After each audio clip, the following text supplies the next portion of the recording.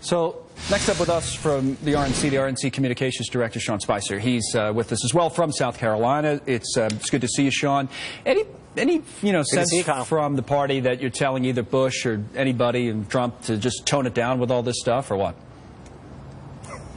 Well, I think you've heard myself and Chairman Reince Priebus talk about the fact that uh, we're big believers in Reagan's 11th commandment. We'd love to see our candidates focused on talking about their vision, their solutions to America's problems, yeah. and focusing their attacks on Hillary Clinton and the Democrats. But politics is a context so sport. That, right? We get that uh, yeah. exactly. But well, but that doesn't mean that we don't try to uh, try to continue to prod them in the right direction. Well, speaking of uh, putting people in the right direction, what was the RNC's involvement in the uh, speech that Governor Haley uh, gave the other night in response to the State of the Union?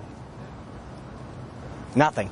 Nothing at all. Didn't know about it, or or nope. knew about it and just weren't involved. No, the, in the, we, all of the above. We, um, the way that uh, State of the Union speeches work is that the House and Senate uh, Republican leadership uh, or Democratic leadership, depending on who has the White House, switches back and forth in choosing the responder.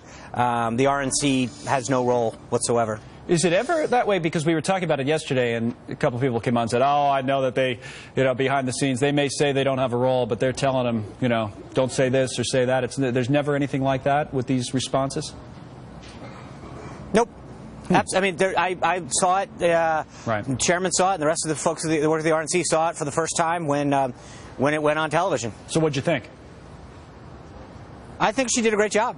Um, I think she represents this party well. I think uh, she is a proven uh, successful governor, um, and she speaks to uh, ways in which our party can uh, can grow and bring more people into it, and that's a really positive message. I think, you know, what she did talk about was that I, this idea that we as Republicans, as conservatives, I think, frankly, have better ideas on how to run this country um, from a conservative ideological uh, ideological way. Right. Uh, that we can reduce the deficit, we can create jobs, we have a better system for health care delivery, and that I think that we can do it with a smile on our face and be proud of the solutions that we have that will move this country forward. I understand that, but you said a moment ago, I think it's interesting that she represents this party well. Now, she went after Trump. She went, you know, yeah. everybody knows that. So what does that mean? What do you no, mean no, by she, that? For, no, no, she, but, but what she did is she said that angriest voices shouldn't carry the day. Right. I don't, I think that if people, you know, but, which is true. I don't, I think that we should be talking, I think that, uh, about positive solutions. we should be Trump doing it with a smile people, on our face and saying that.